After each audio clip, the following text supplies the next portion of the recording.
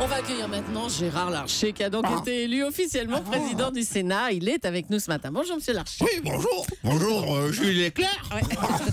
L'éclair au café, puisque on est le matin.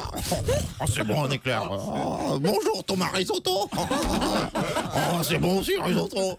Nadine Bolino. Oh, bon, Natacha. Bologna, Bologna, Natacha, Natacha, Nat- Nadine, Nata- Natacha, oh, bon, euh, Bolognaise à Gérard- Larcher en tant que président du Sénat. Si François Hollande était amené à démissionner, c'est vous qui seriez président de la République. hein. Ah oui, Intérim, ouais. mais je suis prêt à cette éventualité. Ah je bon travaillerai en bonne intelligence avec euh, le ministre de l'économie, Emmanuel Macaron. Ah, c'est bon, c'est un macaron à la rose de chez Aduré. hein. Mais aussi avec euh, Ségolène Royal Cheese. Oh, Royal Cheese avec des frites Bon, la sauce barbecue. Gérard Larcher, le gouvernement a annoncé son budget 2015. Euh, Vous allez vous y opposer, vous? Pas du tout, pas du tout. Je suis en accord avec euh, la politique fiscale du gouvernement. Mais je l'applique au foie gras, cette politique fiscale. Suppression de la première tranche, suppression de la deuxième tranche et de la troisième tranche. Bref, les Français se serrent la ceinture, mais le Sénat aussi, parce que nous, nous grossissons. Un mot sur ces incidents en Tunisie ce week-end à l'arrivée de Bernard-Henri Lévy. Il devait rencontrer des personnalités libyennes, mais des banderoles BHL dégage l'ont contraint de sortir de l'aéroport par une porte dérobée. Bertrand Delanoë, vous vivez en Tunisie, alors on va vous demander.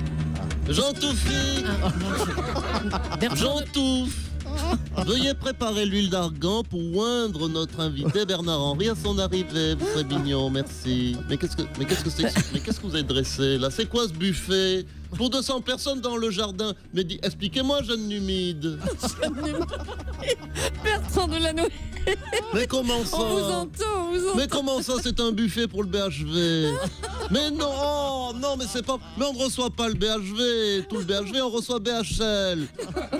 Vous, vous croyez quoi que BHV, c'était Bernard-Henri Vélib Non, mais. Non, qui- mais- Oh, mais, mais qu'il est sot, ce Gentouf. Mais qu'est-ce mais qu'est-ce que vous êtes fait sans l'air, Gentouf Oh non. Hein, tête en l'air. Oui, mais c'est bien ce que je dis. Oh non,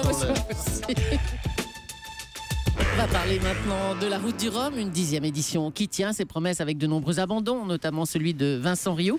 Pierre Fula est avec nous. Bonjour. Oui, Pierre. Alors, oui, Pierre. oui, ma chère Julie, cher Thomas, les conditions météo ne sont pas folichonnes, comme dirait Ah notre ouais. ami Laurent Vous Cabrol. êtes en bateau là, oui, vous Pour suivez la paraphraser, oui, votre Miss Météo, ce sont même des, par moments des conditions dantesques, sans compter le risque de percuter des, des débris, un cargo ou un mammifère. C'est toujours là. Pierre Fula, ça va Oh, Ça va oh là, Oh là là. oh là. Écoutez, je crois, je crois qu'il n'y a pas de casse, mais tout de même, tout de même, nous venons de percuter un cargo ou un, ou un gros débris flottant, je ne sais pas. Oh là là, mais c'est quoi Ah, mais on ne peut plus se baigner tranquille Oh, mais êtes- Pardon, pardon madame la... Ouais, c'est, c'est Angela Merkel. Pardon madame la chancelière. Pardon, excusez-nous. Bon, allez-y, continuez, on n'a rien. Oui, je continue.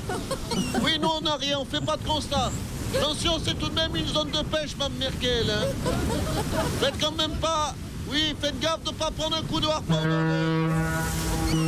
vous, Paris, à vous les studios.